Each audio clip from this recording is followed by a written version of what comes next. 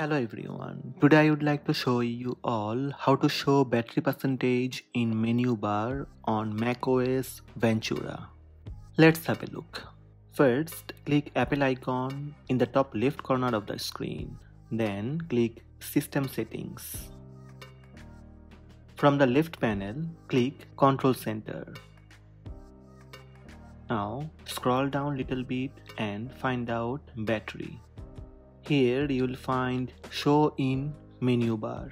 Turn on the toggle show in menu bar. As you see the menu bar is showing battery icon. Now toggle on show percentage. You will see percentage beside battery icon.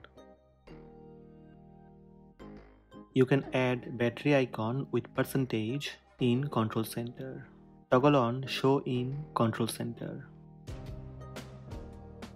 Now close System Settings and click Control Center. Here you will find battery icon with percentage. So these are the steps to show battery percentage in menu bar on macOS Ventura. Hope this video help you. Please subscribe my channel by tap subscribe button also tap the bell icon to receive notifications about all new videos.